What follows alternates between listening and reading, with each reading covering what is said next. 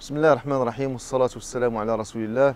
معنا في هذا اللقاء الأستاذ إدريس كرم الباحث السوسيولوجي والأنثروبولوجي. أستاذ إدريس كرم آه، سياسة فرق تسد سياسة انتهجتها جل الدول الاستعمارية.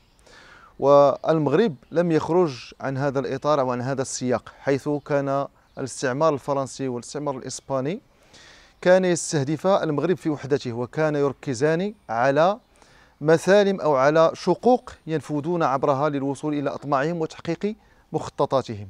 فالظهير البربري الذي جاء في 16 ماي 1930 نود منكم أن تحدثونا عن سياقه التاريخي والسياسي. بسم الله الرحمن الرحيم. وصلى الله على سيدنا محمد وعلى آله وصحبه أجمعين. قضية الظهير البربري هي في الحقيقة ظهائر. ظهائر كثيرة بدأت في 1914 يعني مباشرة بعد توقيع الحماية بدأت تصدر ظهائر لترسيم تجزيء المغرب وتقسيمه إلى مناطق. والغريب في هذه المسألة هو أن الغزاة المستعمرين الفرنسيين. آه، راكموا تجربة في الجزائر. هذه الج... هاد التجربة التي راكموها في الجزائر ابتدأت من 1900 و 1830 سنة التي أطاحوا فيها بداي الجزائر. وبدأوا يحاولون الاستيلاء على أكبر ما يمكن من الأراضي. سواء في الجهات الغرب يعني اتجاه المغرب أو في الجنوب.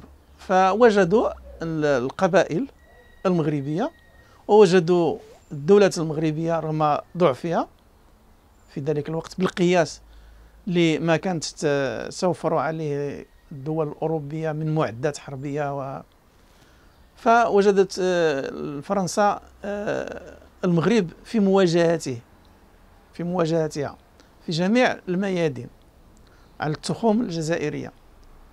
كما أنها طبعا المغرب كان في ذلك الوقت يعني كيان قائم الذات. آه، يتميز بأنه آه، في دفاعه عن حدوده وعن ترابه وعن سيادته ويمكن أن عن إسلامه لا ينتظر الدولة. كان الناس هم هم الذين يقومون بهذا العمل. طبعا تحت إمراتي وتوجيه واتصال بين آه، السلطان وبين القياد ووجهاء البلدان. فبدأ البحث بالنسبة للدول الغربية وخاصة فرنسا في الشيء الذي يجعل هذه الدولة ليس متجدرة فقط وإنما هي حية ومتجددة الحيوية. فبدأ البحث الأنثروبولوجي والتأريخي وبدأت الاستك... العمليات الاستكشافية ورسم الخرائط مما جعل المغاربة يقفون في وجه كل غريب يريد أن يدخل إلى بلادهم أو أو إقليمهم. فرادى وجماعات فكانت هذه مشكل مشكل عويص بالنسبة لهم. فجربوا حلول في الجزائر. طيلة سنوات الاحتلال. وبدأوا يخرجون تلك التجارب ليطبقوها أيضا في المغرب. فبعد الحماية مباشرة بدأت تلك التجارب تفرض في في أرض الواقع. فظهرت مثلا 1914 آه، أول ظاهر لوضع حدود للقبائل ذات العرف البربري. يعني كانت مجموعة من الظهائر. مج... نعم. سبقت ظاهر 1930 16 مجموعة من الظاهر يمكن نقولوا 1914 1915 1918 1920 23 24 28 إلى 1930 بل أكثر من هذا. كلها كانت تركز على التفرقه على- بين العرب والامازيغ طبعا من اجليات ولكن كل مرة في في قطاع. فجاء قطاع العدل هو آخر قطاع ليتوج هذه العملية. المرة الأولى مثلا كانت فقط آه، آه، وضع آه، خريطة للقبائل ذات العرف البربري كما يسمى. ثم بعد ذلك الأراضي الجماعية التابعة لهذه القبائل ثم بعد ذلك الجماعات ال- ال- ال- القبلية ثم بعد ذلك نظام تلك الجماعات ثم بعد ذلك نظام السلف لتلك الجماعات ثم بذلك احتك... آه، انتخاب حكام تلك الجماعات. يعني سلسلة من الأشياء سلسلة من الاجراءات سلسلة من التعقيدات عمل تدريجي للوصول إلى غاية معينة. ومواكبة. مواكبة باقتطاع الأراضي. في الوقت اللي عندما مثلا في الوقت اللي كنقولوا أن هذه أراضي تابعة للعرف البربري كنحصروها. كنحصروها في محل السكنة وكنحصروها في المجال الرعوي. ماذا يعني؟ يعني وكنديو الأرض. تابعة للعرف البربري بمعنى يتحاكمون إلى أعرافهم أم أنهم ي... كانوا يتحاكمون إلى الشريعه الاسلاميه هل كانوا يتبعون إلى سلطة المخزن أم أنهم خارج عن سلطة المخزن؟ لا هو في البداية فقط كانوا يعتمدون اللهجة. هادو يتحدثون مثلا بت- ب- بال- ب- بتشلحيت.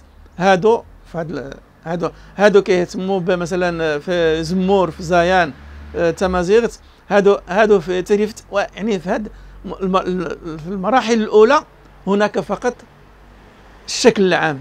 نعم. يعني الشكل ال- ال- يعني من الناحيه اللغوية. ثم بعد ذلك سيتطرق لأن شنو هو كان الهدف الأسمى؟ هذا هو الهدف الأسمى لهذه العملية. هدفين هدفين اثنين. يعني جوج ديال الأهداف باينين وواضحين. شنو هما؟ أخذ الأرض جمع الناس في المناطق الغير النافعة ثم القضاء على الإسلام. لأن هذا الإسلام هو العقبة الكؤود التي تحول دون انتشار الاستعمار في هذه الأرض. بل أكثر من هذا أن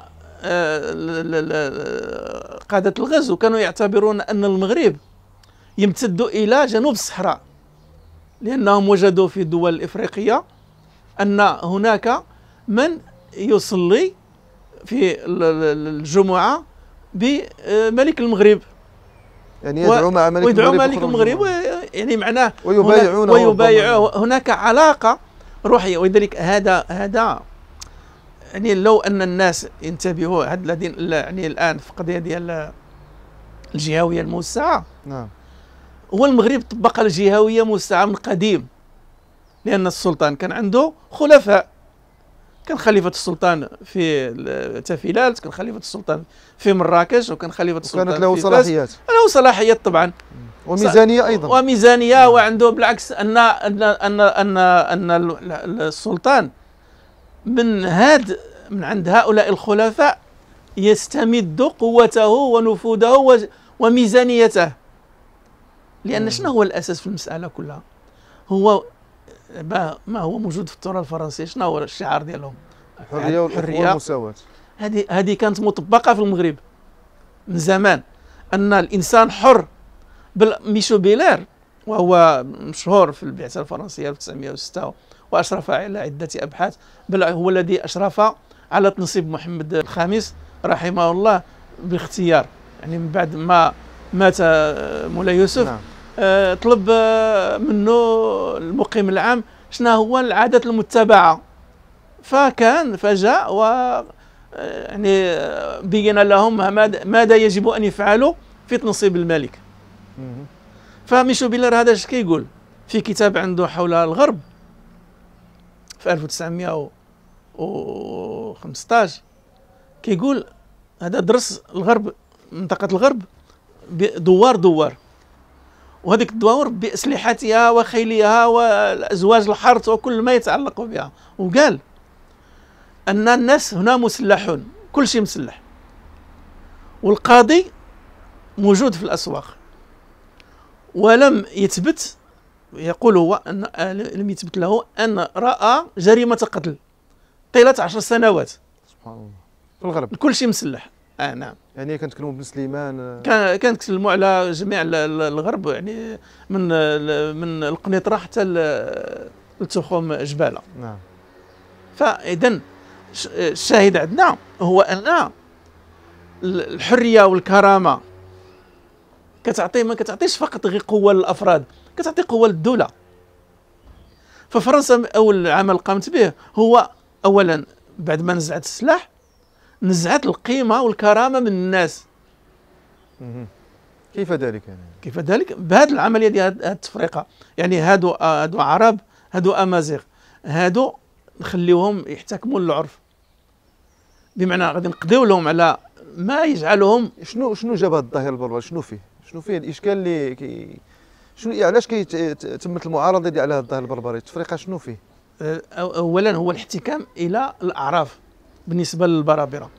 وبالتالي لا علاقة لهم مع السلطة المركزية. هذا الجهة السياسية. هذا الجهة السياسية. آه. الجهة الدينية أن الشريعة أو الإسلام بالنسبة لهم هما الفرنسيين كانوا يعتبروا أن هؤلاء البرابرة يعني الدين عندهم فطرة. هما لابد أن يكونوا متدينين ولكن بأي شكل من الدين. الدين الذي يريده أي فرد يعني بغيت تقول الحرية الفردية في شكلها البدائي. يعني إذا يمكن يعبد الحجر يمكن يعبد نخليوه يعبد الشجر نخليوه المهم أنه ما يقولش يعني أن غادي نلهيوه بتلك الممارسات الطقسية عن مراعاة الخصوصيات الإنسانية والحضارية التي يمكن أن تجعله ندا لند مع الغرب. نعم. فإذا هذه يعني المسألة هي مسألة إدابة الشخصية وهذا الهدف من كل هذه القوانين البربرية. وليس إعطائهم الحقوق والحريات والامتيازات أبدا. ولذلك حتى الذين يطالبون أو كانوا يطالبون أو ما زالوا يطالبون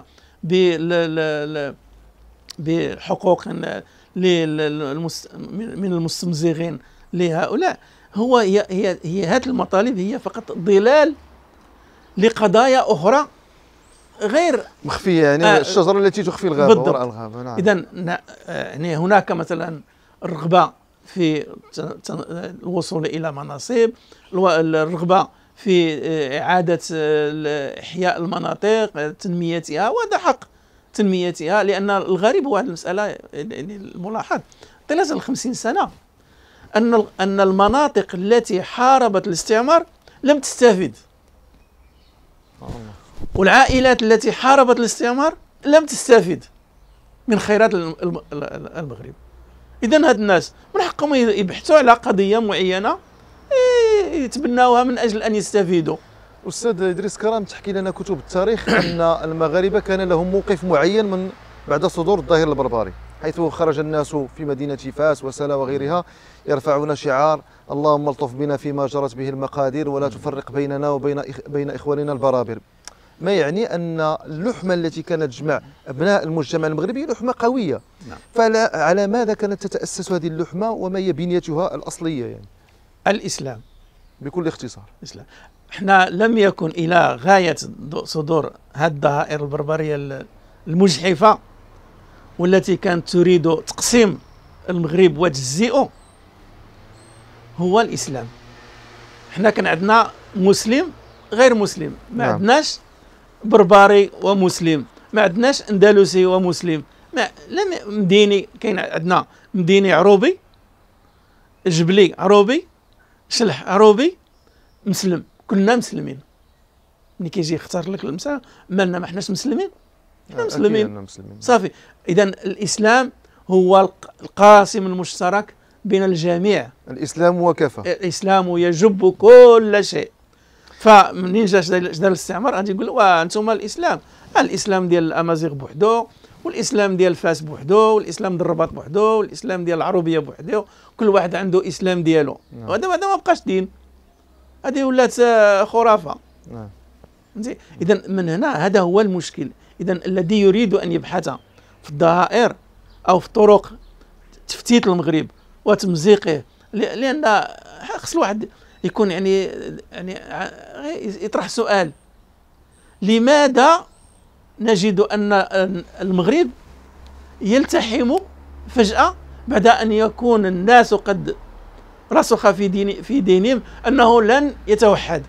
فجأة ينتفض وتجد أن الناس اتفقوا على قضية معينة وذهبوا إلى شيء أساسي تركه أو طبعه الإسلام في نفوس المغاربة وهو الإيمان بالله وأن الإنسان أن الناس سواسية كأسنان المشط وأن إذا أجار أدناهم أعلاهم. أعلاهم.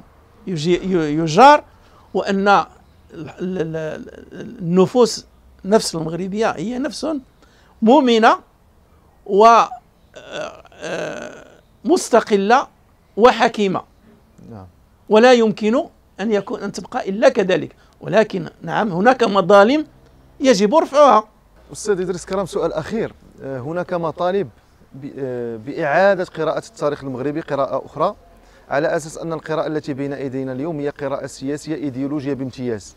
وأن الأمازيغ حينما يعتبرون الظهير البربري الذي فرض سنة 16 ماي 1930 هو جاء ليعيد المياه إلى مجاريها على أساس أن الأمازيغ كانوا يتحكمون إلى أعرافهم وأن الإسلام جاء ليمحو حضارتهم وليطمس معالمهم وإلى آخره. فما تعليقكم على هذا الطرح؟ هذه حقيقة من المهازل الكبرى مع الأسف.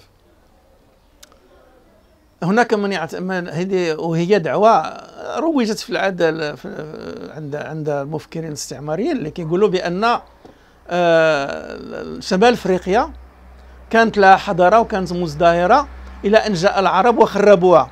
وهذا هذا منافي للتاريخ. التاريخ شنو هو؟ كانت هناك شمال أفريقيا وجاء الرومان وجاء الوندال وجاء البيزنطيون وهذا هم الذي خربوا هذا هم الذين خربوا هذه البلاد. فجاء العرب. عندما جاء العرب حقا لم يجيء العرب جاء الإسلام. لأن الذين شنو الإسلام؟ ما هو الإسلام؟ لماذا بقي الإسلام؟ لماذا؟ لأنه لم يضطهد السؤال. السكان لأنه لم يضطهد السكان. الذين أسلموا على أرضهم بقيت لهم أرضهم. والذين كانوا يحكمون بقوا يحكمون. وزادت سلطتهم وقويت وهم الذين ذهبوا ووسعوا وفتحوا ونشروا الإسلام. إذا هذه مغالطات لأن عندما نقول كتابة التاريخ فقط ليس كتابته فقط غير إظهاره إبرازه فقط غير نخرجوه على الأقل غير نخرج بل أكثر من هذا نخرجوا ما كتب على على على المغرب.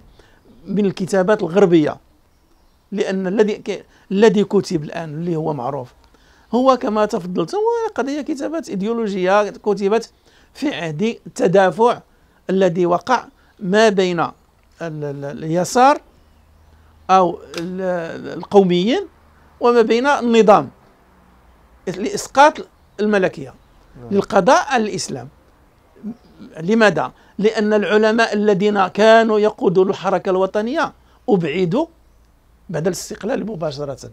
ولذلك يجب الاهتمام بتاريخ المغرب الذي طالب العديد من الناس من الباحثين ومن المؤرخين أن يجب أن نهتم بتاريخ المغرب من أجل رأس المال الرمزي اللامادي لدعمه لأن هناك مخططات تريد هي تابعة لما وقع في العهد الاستعماري من هذه الدائرة التي سبق أن قلنا.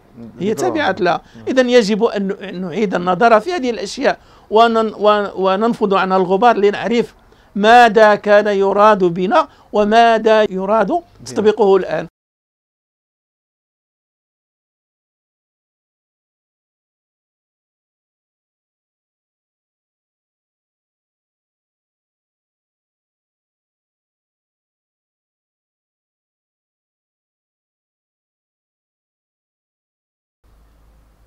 لماذا؟ لأن الجيل الذي تعلم في المدارس الفرنسية أو سواء أو خارجها أو في المدارس المصرية والسورية والعراقية الكل جاء ضد الحركة الوطنية ضد علماء الحركة الوطنية لأن الغربيين جاءوا بتفكير غربي لأن يجب أن يتمموا ما بدأه المستعمر والذين جاءوا من الشرق أرادوا إسقاط الملكية بدعوى القومية وبدعوى الجمهورية وبدعوى نشر الفكر التقدمي الاشتراكي واليساري.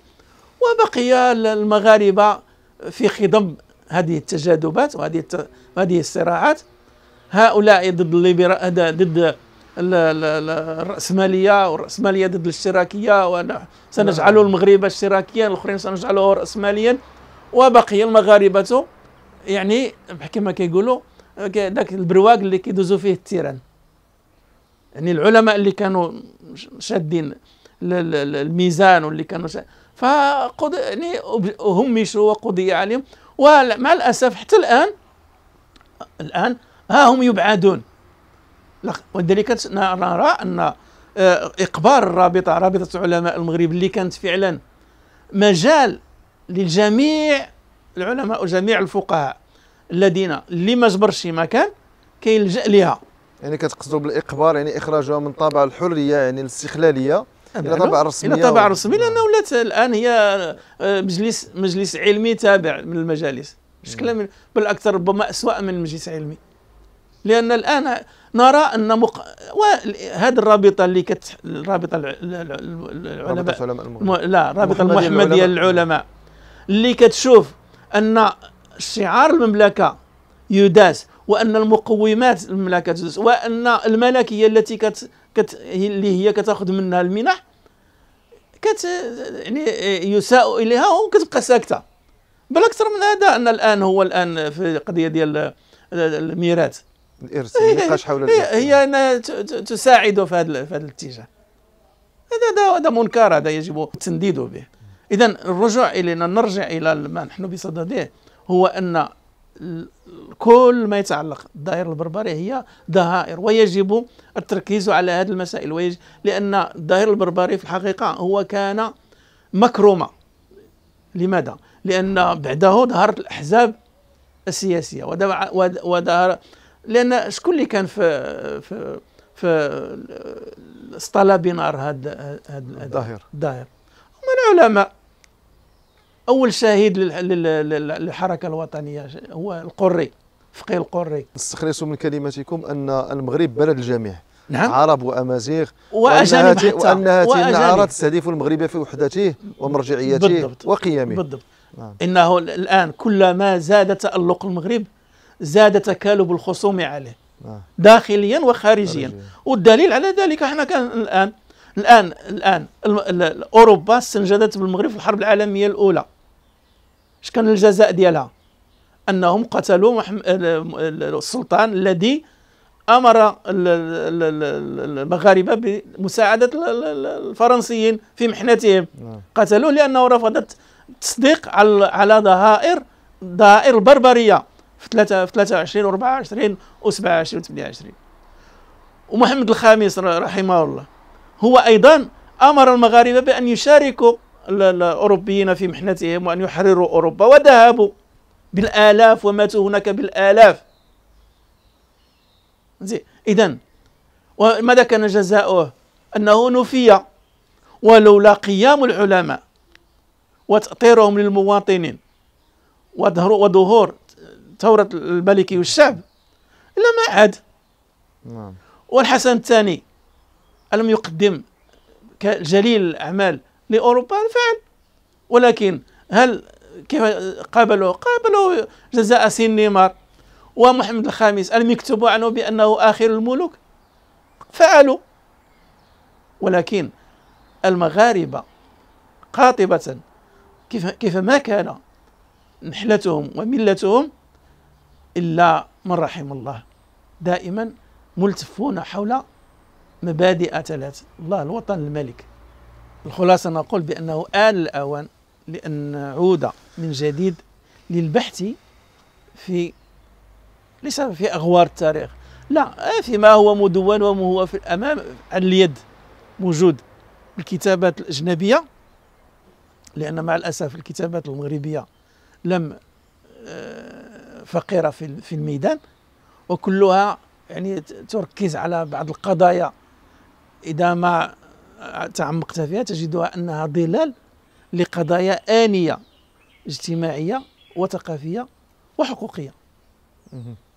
ولا علاقة لها بالتاريخ وبما وقع فيه من من من من من قضايا ومشاكل. نعم لا يسعني في ختام هذا الحوار إلا أن أشكر الأستاذ إدريس كرم على سعة صدره وعلى قبول الدعوة وإلى فرصة أخرى وشكرا جزيلا لمتابعتكم.